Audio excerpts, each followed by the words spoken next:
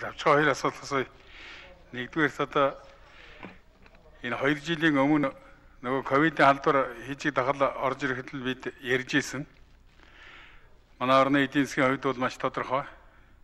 Ихэнх нь нүүрснээс хамааралтай. Тийм учраас энэ говийн бүс нутгаа ногоом бүс байлгах. Тэгээ энэ дээр анхаарал тавиач гэсэн. Тэгээд хариуцлага зохион байгуулалтын хувьд арга хэмжээ авч чадсангүй өнөөдрийн ийм байдалд л хүрлээ л дээ. Би бас их хурлын чуулган дээр хавар хэлж исэн. Нэг хариуцлагагүй одоо аж ахуй нэгж хов хүнээс шалтгаалаад тийм ээ тодорхой жишээ байгаа шүү дээ. Эндээс дотоодын хүн тээврийн автобусны жолооч нь ковидтэй очиод. Ковидтэй очисон жолооч нөгөө аж ахуй нэгж нь үгсэн хувьд дараад хөсөөдөд мэддэхгүй онцгой комиссд мэддэхгүйгээр дарж эмчилнэ гэдэг Тэгээ байж хахад нөгөө тээврийн жолоочийн нэг орон гарангууд нөгөө нөхөр маань харин тээврийн жолооч тээврийн тэргээ барь цаашаа ороод тэгээд таг баригдал. Тэгэл одоо хэдэн 10 хоногоор хичнээн одоо 100 жолоочийн тээвэр туурга энэ бүх юмуд чинь таг гацчаад ингээл зурж байна. Нэг жишээ шүү дээ. Тэгээ иймэрхүү байдлаас болоод нөгөө ногоон бүс байх энэ асуудал чинь хүндрээд идэг. За тэгэл яхав та одоо тэгэл хөршөөгөө хараадгаараа бүгдээрээ хараагаал эндээс л одоо хятадудаас болохгүй нэгэд хараагаад байдаг. А гэтэл чинь бол энэ өнөөдрийн энэ дэлхийн нийтийг хамарсан энэ хижиг тахалтай холбоотой асуудал чинь энэ улс орны одоо өхөл сэхэлтэй холбоотой асуудал болоод байна шүү дээ. Тэг ийм юмн дээр одоо ямар зохион байгуулалт хийх юм бэ? Одоо тэгээд тэр үнэхээр одоо хоёр талдаа шинжилгээний хүч ийм зөрүүтэй гараад байгаа юм уу? Яагаад байгаа энэ талаараа нэг тодорхой юм хэлээч. Хоёрдугаарт одоо энэ олон жил ярьж байгаа энэ төмөр замын бүтээн байгуулалттай холбоотой юм ингээл одоо гацаад байдаг. Их хурлаар одоо эргүүл тойруулж байгаа л ингээл шийдвэр гарсан. Тэгээ бодит байдал дээр ажил хэрэгжидэггүй. Бидэнд бол нэг зовлонтой юм шүү дээ. Нийгмээр одоо энэ 76-аг л үе үеийн энэ их хурл 76-ыг л хараагаад байдаг. Гэтэл бодит байдал дээр төрийн тамга барьж байгаа ерөнхийлөгчөөс эхлээд ерөнхий сайд энэ ажилд хариуцж байгаа улсууд чинь одоо гадаад улс орнууд ялангуяа энэ хоёр улс оронтойгоо ярьсан хөрсөн ийм юмнасаа эргэж буцдаг Энэ нь одоо хичнээн жилээр хойшин чангаадаг ийм зүйлүүд байгаа шүү дээ. Тэгэхээр наадах асуудал чинь нэг талдаа гарсан гэж ойлгохгүй таны хэлээд байгаа танилцуулгаар бол хөдөлгөөнгөө одоо болцсон юм шиг ерөөсөө эдхэн сарын дараа ашиглалтанд орохоор юм шиг ийм юм яриад байна шүү дээ. Энэ дээр нэг тодорхой хариулт өгөөч. Тэгээ үүнтэй холбоотойгоор одоо энэ та бүхний ирүүлсэн мэдээлэлээр бол 223 аж ахуй нэгжийн 16767 тээврийн хэрэгсэл а 14500 жолооч явж. Энэ улсуудын одоо төмөр зам орохоор зэрэг энэ улсуудын эрх ашиг яах юм болж байна? Ажлын байр нь яах юм болж байна? Энэ дээр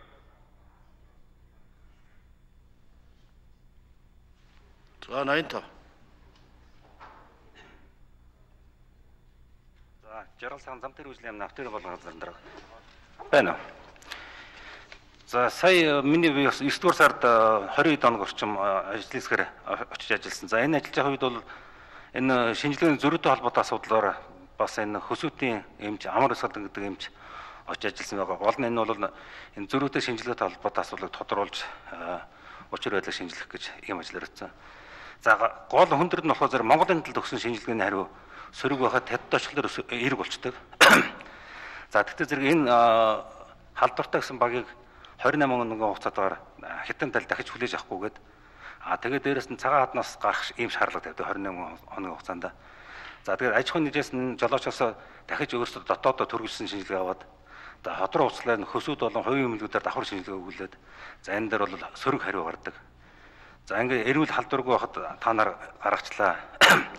Цагааднаас гарахгүй гэдэг ийм маргаан өсдөг ийм асуудал байсан. За тэгтээ зэрэг энэ нарийн мэрэгжлийн улсууд маань шалгаж үзээд за нэлийн хэдэд нь бас зөрчил янз бүрнүүд тодорхойлогдсон байж байгаа. За тухайлх юм бол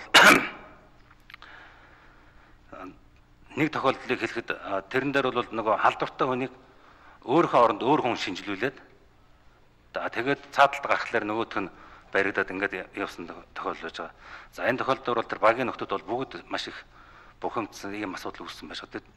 Тэр баг дээр бид нэр шөнө очижсэн. За тэгээд ерөөхдөө бас багцаалсан юм шиг байна. Бүр аргаа барахтаа дундаасаа тэр хүнийхээ нэг цалингийн олгоё гэдэг хүртэл асуудал хэрэгжсэн. Тэгээд энэ бол гарсан байж байгаа. За энэ дээр бас нэмээд бол одоо энэ кемпинг дэглэм сул байна. Гаднаас баян хүн оруулдаг. За урд нь бас идэгдсэн мөртлөө тэрийг нуугаад юу яадаг өнгөрөөсөн юм сууд байдаг. За энэ ажил хариуцлагууд бас ур чадвартай холбоотой. Өөрөөр хэлбэл өмнө ажиллаж байсан орон нутгийн мэрэгчлүүдийг бол 2-7 хоног хугацаатай сумдуудаас татж авч ажиллаулдаг гэсэн. За бас нэг өөр хариуцж байсан бас нэг хүн дээр нэлээд ноцтой хэдэд нь нөхцөл байдал тодорхойлож яасан байгаа. Тогтоогдсон байж байгаа. Гэх мэт энэ ер нь дотоодын нөхцөл байдалтай холбоотой энэ гарсан юм байж байгаа. За дээрэс нь бас тэр нэг босго гэж нэг тийм юу гэм бэл одоо дээр тодорхойлоход одоо нэг үзүүлэлтүүд нь 40 гэж байдаг. А тэр нь бол хятадын барьдаг тэр босго нь ари өндөр, а манай хайраа сул байдаг гэдэг. За энэ байдлуудыг бас тодорхойлоод ингээд хийгээд ихтэй зэрэг сүүлдээ бол бас нөгөө зөрүү нь бас харьцангуй багасаад ер нь баг зөрөх болсон. Өөрөөр хэлбэл Монголын талд эерэг гэд эерэг гэсэн хариутай бол очсон усууд хятадын талд бол яг л эргээр сүүлийн одоо нэг 2-7 хоног дотор бол харьцангуй гайг болсон байгаа. За ийм мэдээлэл өгье. За баярлалаа. Албан ёсны мэрийн шин зах дээр буу олж байгаа юм шиг юм. За 81 галтар сайд.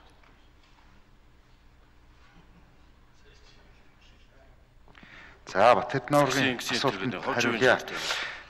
Төмөр замын энэ таван толгой зүүн баян чиглэлийн төмөр зам бол сайн явж байгаа. Одоо ер нь бид нар 2022 оныхоо 1 сарын дундуур бол утсан харилцаагаар галт тэрэгний хөдөлгөөн нэнэ гэсэн байдалтай явж байна. За таван толгой гашуун сухай чиглэлийн төмөр зам дээр түрүүн зөвхтгөр лишүүнийг асуухад би бас хэлсэн. Энэ таван толгоогоос гашуун сухайд хүртэлх өртөө хүртэлх зам маань бол 22 оны 7 сард ашиглалтанд орчих юм. А одоо бол бид нар зэрэгцүүлээд тэрний дараа одоо энэ хил холболтын цэг хаан шилжүүлэн ажилт хийх үү гэдгээ хятадын талтай тохирчвол нөгөө хоёр талаас ярих хил дээрээ уулзах бүтээн байгуулалтын ажил гэж бас үргэлжилж явагдана. Тий, тэн дээр одоо яг одоогийн байдлаар бол өнөөдөр ч хилцэл явагдаж юм бид нар аль болохоор засгийн газраас гарсан шийдвэр бол одоо энэ 10 сарда багтаагаад шийдлээ гаргаа гэдэг чиглэл өгсөн. Тэгээ манайхан ажиллаж байна, гадаад ямч ажиллаж байгаа. Энэ бол жоохон бас болгоомжилж байна яг үндэ бол цаг хугацаа бас авчихгүй дээ. Яг хил холболтын зэг дээр маань саад болохгүй жоохон яригтай асуудал байхыг үгүйсэхгүй л байгаа. Тэглээгээд бүтээн байгуулалтын нэг гашуун сухайд хүртэлх баригдах замын бүтээн байгуулалтын ажилд ямар нэгэн нөлөө байхгүй. А бүтээн холболтын өмнө бол бид нар тээвэрлэлт бол явагдана. Гашуун сухай төртөн дээр авчирна. Цаашаага чингэлгээр автомашинаар богны тээвэр хийчнэ гэдгээ төлөвлөө явж байгаа.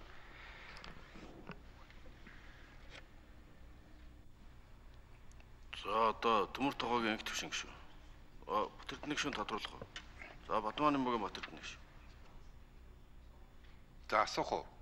А миний миний асуултанд оноо алдард тодорхой хариулсангүй л дээ энэ цаана нь урд нь дээд төвчний уулзалтаар тохирсон юмнаас ухардсан тийм урхагтай байгаа мó үгүй. Тэгээ байжсаа зэрэг л одоо болохоо байсан гэдэг нэг юм ярьдаг шүү. Өөрөө чинь хэлээд байгаа юм дотор бол энэ чи одоо аль талдаа шилжүүлэн ачилтыг хийх юм тэр нь тодорхой биш. Холболтын цэг тодорхой биш.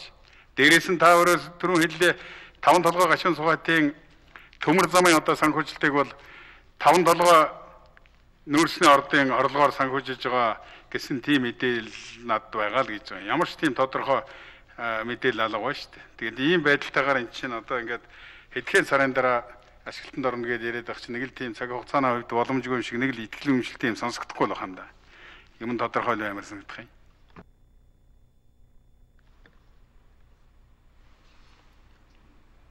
За одоо төмөр тоог нямдар сайдрал. За 80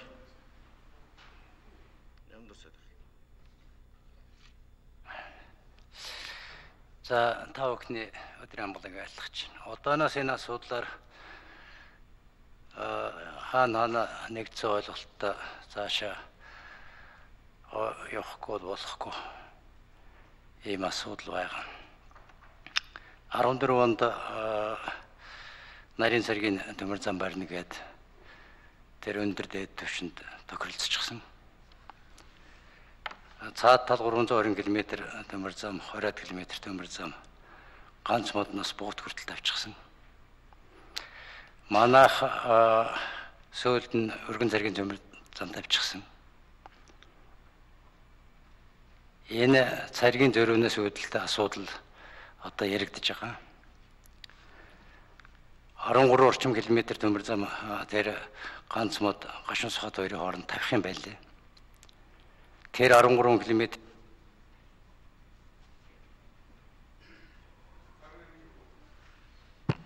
За 80 нямдар цайд гүйцэж хариулъя. Э, тэрэн дээр ч нөгөө огтлцох цагийн асуудал ганц модон дээр гарах юм уу? э, гашуун сухад дээр хийх юм уу гээл асуудал үүсчихсэн. Одоо энэ асуудлыг яригдчих. Нэгдүгээр тэнийг их хурлын гишүүдэд яг байгаагаар нь хэлье гэж би бодсон юм. Би энэ төмөр замын асуудлаар олон жил ярьсан юм шүү дээ. Хоёрдугаар та энэ гашуун сухатын асуудлыг сангийн сайдад засгийн газрын зүгээс хариуцуулсан. Цаашдаа сангийн сайд энэ гол асуудлуудаа авч явна. Ер нь гашуун сухатыг хөгжүүлэх төлөвлөгөө гэдэг юм хөгжлийн төлөвлөгөө маягийн баримт бичих гаргаж аж ойрын ирээдүйд энэ боонтыг ямар төвшөнд өргөх юм гэдгээ одооноос сайн тогтчоо цаашаа явахгүй болохооргүй болчихсон. Уламжил туучин машинаар гардаг ажил алдаг оног хийгдэж байна. Одоо нэг терминал гэдэг юм байгуулчихсан байна. 30 газарт ирэх жилээс энэ төмөр замаар замаар тэнд а, нөөрс буун. За алдар сайд а, 15-аас 20 саяын гэж ярьж ярьж байгаа. Ер нь цаад хамгийн өндөр дооцсон бол 35 сая тонн нөөцний асуудал байгаа юм байна лээ. Ингээд бас нэг тийм жуулаачгүй дээвэрч гэнэ агарын дөвжин дээвэрч гэнэ бас нэг ийм хувилбар дөрөв дэх хувилбар яригдчих. Энэ бүхнийг тооцоолж энэ гашуун сухатын асуудлыг нийгмээр шийдвэрлэж нэгдсэн ойлголттой болохгүй бол- болохгүй юм байна. Гашуун сухаттаар үүсэж байгаа өнөөдрийн хүндрэлтэй нөхцөл байдал бол ердөө л ковид. Одоо тэр цэ зөвшөөрлийн асуудал гэн машин гарч чадахгүй байгаа асуудал гэн нөөц гарч чадахгүй байгаа асуудал гэдэг энэ чинь ганцхан шалтгаантай ковид. Урд айл өвлөө олимпик хийх гэж байгаа. Гаднаас а, ковид алдахгүй байхын тулд нь улс төрийн нэг номерын ажил гээд даалгавар өгөгдчихсэн.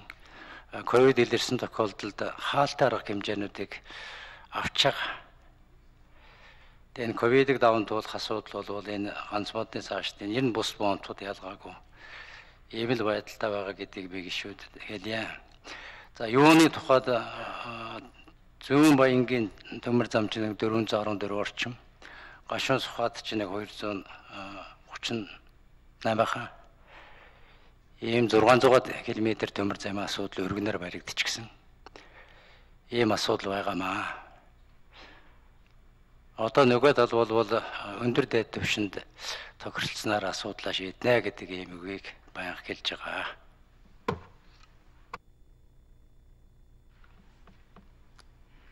За төмөр тогоогийн төвшин гişүү.